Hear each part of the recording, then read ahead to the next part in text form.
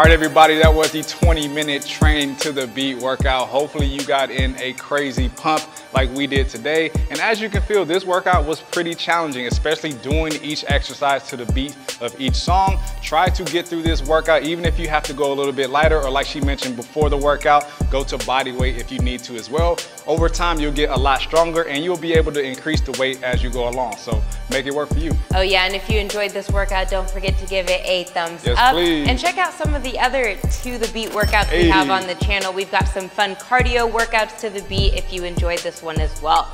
If you're new here, don't forget to hit that subscribe Smash button. That please and thank you. And if you want to see more from Juice and Toya, make sure you check out that Juice and Toya hey. app. We have programs, recipes, nutrition, everything that you need to take your fitness to the next level. Oh, yeah. And lastly, don't forget that we have a Juice and Toya podcast. Oh, yeah. Make sure you go subscribe to that Juice and Toya podcast channel yes, and leave us any comments of topics that you'd like us to cover. All right.